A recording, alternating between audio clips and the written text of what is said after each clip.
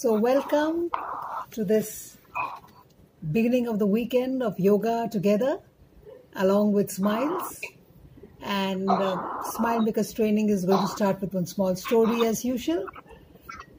I remember reading this in one of my text, moral science textbooks when I was small, and today just came back to my mind. Uh, so once they were father and son were going in a cave exploration trip. Small son, small boy. And they were going in the different caves, and suddenly the son got separated from the father. And one minute he was there, next minute the father realized he's holding somebody else's hand. And he kept calling out to the son, and he kept calling out. And he heard a faint voice from somewhere up. And he realized the son was stuck up on the edge of a ledge, and the father was down. And he told the son, Jump, I'll hold you. Mind you, it is pitch dark.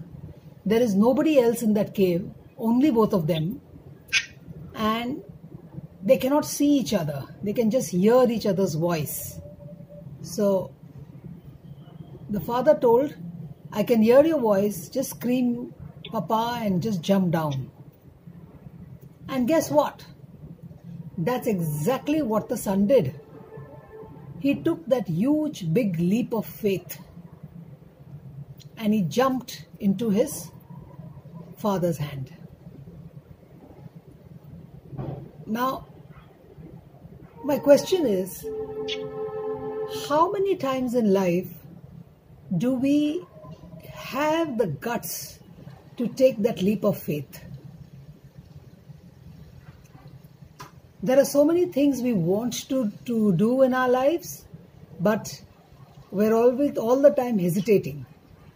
We're wondering if this light gets switched on, that light gets switched on, if I can see where I am going, if I know, you know, what I'm doing, then I will take the next action.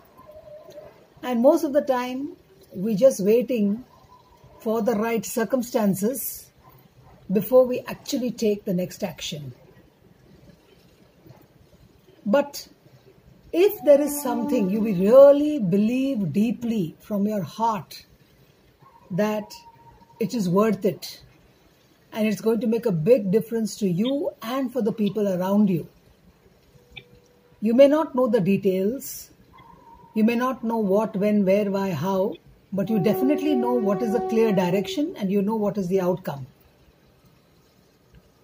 And one more thing you require, and that is the faith, the belief, the belief that you are capable of doing or achieving that outcome. Okay? And that's why it is called leap of faith. And think about so many things that can, you can do if you just take that first step, that first action of leap of faith. You know?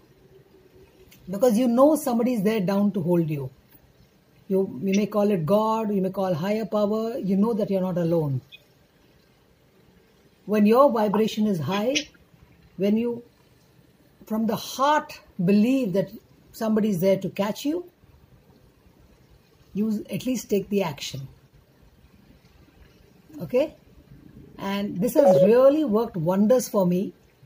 Uh, I have so many examples of, uh, one of my biggest examples is my attempt to clean the country. I just took a leap of faith and I said, let us start with cleaning our roads and let every person take responsibility for cleaning just the road outside their house. And I was like a mad woman when I started this project. Way back in 2003. 2007, I wrote about it. 2013, I was featured in the paper saying this woman wants to clean the country. And 2014, the actual movement started of Clean India. So, just a simple practical example that if you believe something from your heart, it will surely, surely happen. As long as you have that leap of faith, go ahead, take that small step, take that initial small step, and the rest will follow. Yeah? Happy smile tip for the day.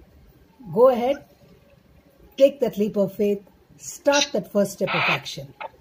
Thank you.